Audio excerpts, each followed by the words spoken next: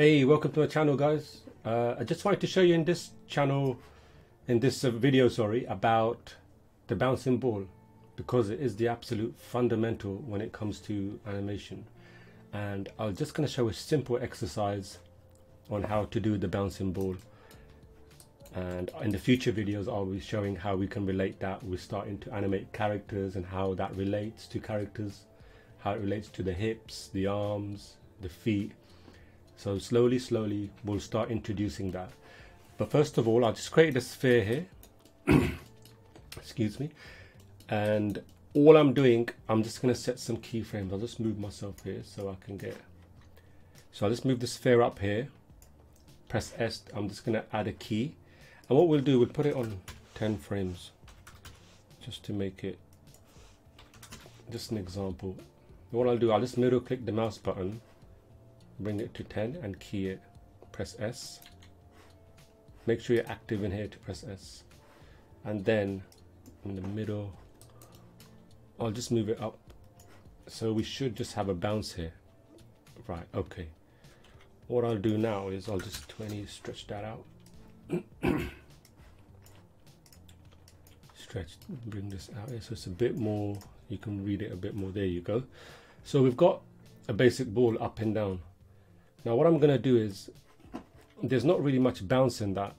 It's just going up and down it's kind of floating at the bottom. Now if we go into the graph editor we know that we translated in Y. So if we select that this is what's representing the ball up and down. Now what you can do is in Maya you can to start creating the bounce, you can just move the tangents up like this to create more of an impact.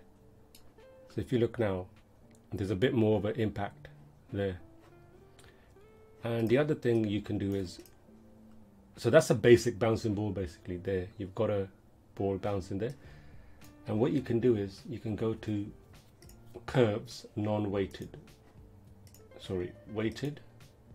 And then you see these tangents they will start you you have more control over them now another thing you can do is when you select them all again then, then you just do independent. You break it. Use this option here.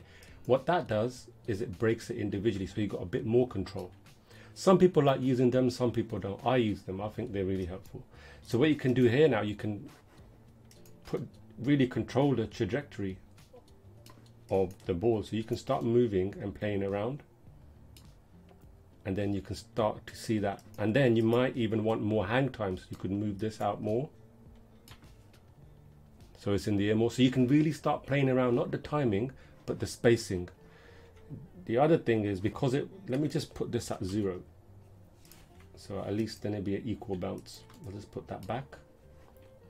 And I put this back here. So it's more equal yeah? So you can see now the spacing is more equal. Now if you play this you can see there's a bit more of a bounce of a hang time in the air. And you know depending on if the ball is heavy then there's going to be less hang time right? And then you can play around with that. Like this you can just play around with the curves. And if the, if the going to be light then it's going to have more hang time right? In the air because there's no not much weight on it there. So and then you can just push it up higher if you want so all all with this we're just using this with one axis and we'll use we're just finding out how to control with just the spacing in between here and here. This is the spacing that we're controlling.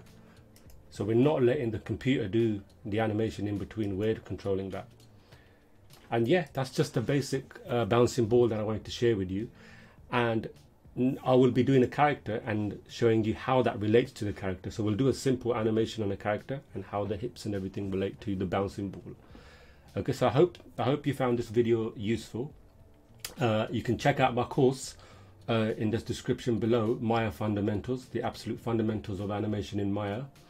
Uh, you can get it for free on Skillshare if you click the link at the bottom. First thousand people that click on it get it for free, and uh, you can even like check it out for free and then unsubscribe from Skillshare. It's a free, you could get a free course basically. You can also go on Udemy as well, and uh, but they have like half prices. But go ahead, click on the link, check out the course if you like it. If you don't, you can always get a refund, but I'm pretty sure you will like the course. It's a complete fundamental in Maya and in animation.